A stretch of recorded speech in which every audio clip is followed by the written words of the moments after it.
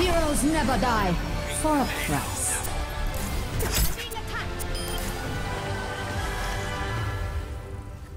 It was okay.